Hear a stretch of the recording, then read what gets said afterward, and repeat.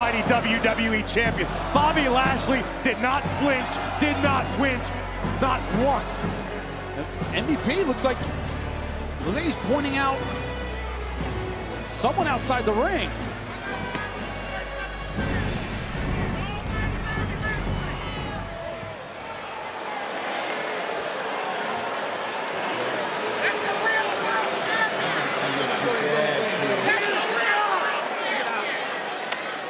That man right there? That man is going to end your father's career. And then at SummerSlam, you the spot. This man is finished. It's his last match. It's all over for him. It's done. To end his career. That's all I'm saying. MVP.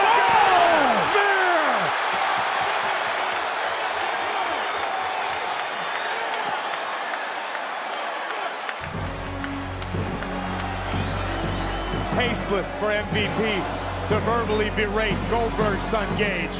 And MVP may have just pissed off Papa Bear real bad.